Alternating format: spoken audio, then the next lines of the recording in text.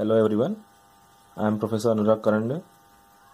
Going to tell you about the question number 2 which is asked in assignment number 2 and the topic which is related that is cam dynamics. Now in this question the given data is like this. Number 1 first is the cam speed then follower stroke that is denoted with the help of L then outstroke denote with the theta 0 then return stroke theta r then mass. And in this problem we have to calculate spring stiffness that is k.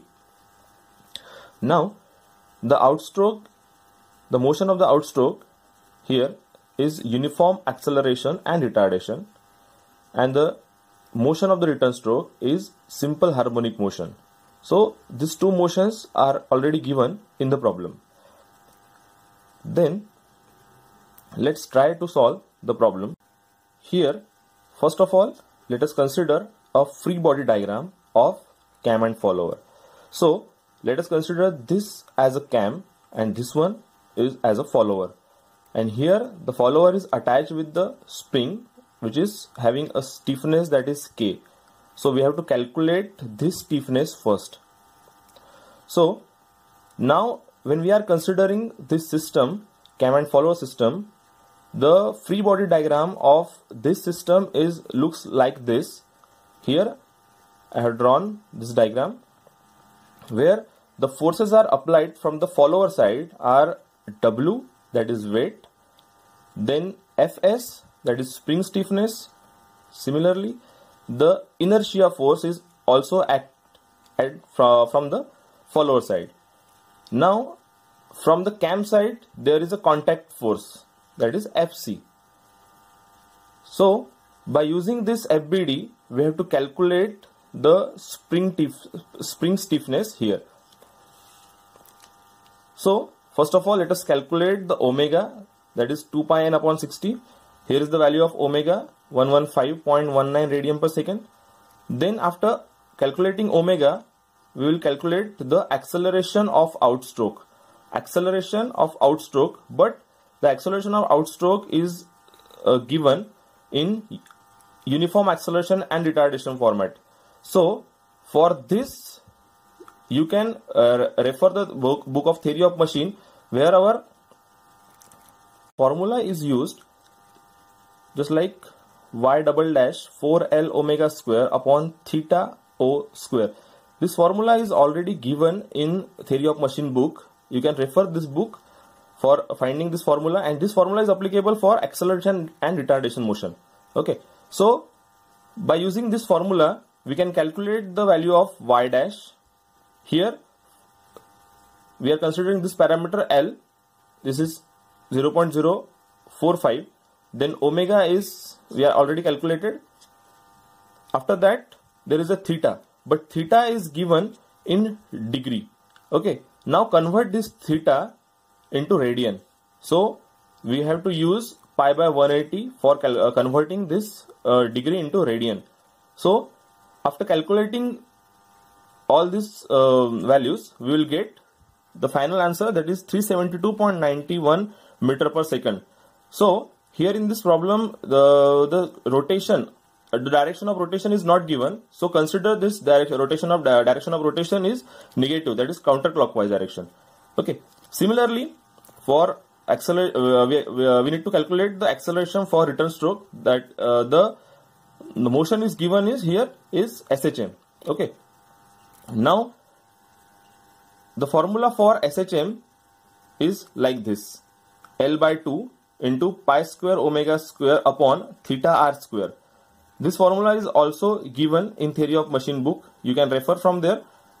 So after that we are getting this value 133 1338.81 uh, meter per second. Okay. So we will get the two acceleration one at outstroke and one at return stroke. Now by using these two values we can calculate the value of stiffness of the spring. Okay. Now according to FBD according to FBD if we calculate the summation of f of x then we will get the equation like this. If we get the f of x is equal to 0 then the summation of f of x is equal to 0 like m into g this is the w then ky plus k delta. Ky plus k delta is the spring force are, that is written over here. Fs is equal to ky plus k delta. Ky means displacement and delta is the initial displacement. Okay. Then here plus my double dash. My double dash is inertia force.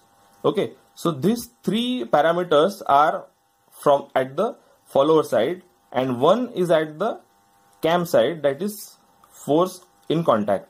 So force in contact is in negative direction because the direction of forcing in contact is like this.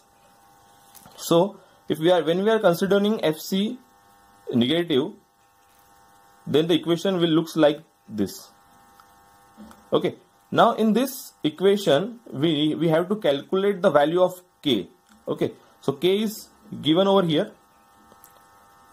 K into y plus k into delta.